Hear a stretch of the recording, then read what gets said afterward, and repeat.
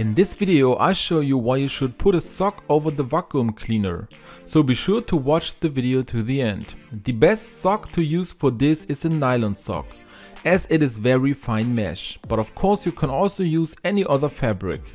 Now hold it tightly at the end or fix it, for example with a rubber band or some tape. Now you can vacuum under the sofa or under the cupboards.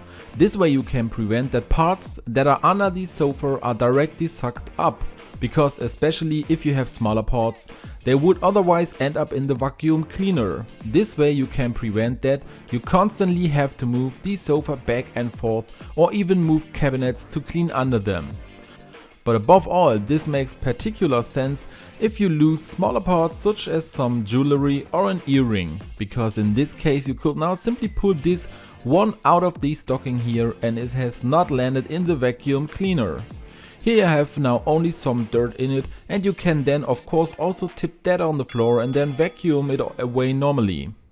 Thus, you can use the stocking over the vacuum cleaner once for general cleaning, but just also if you have lost things and don't know exactly where they landed. Because to push the heavy sofa or the cabinet aside is sometimes not so easy, especially if you are alone.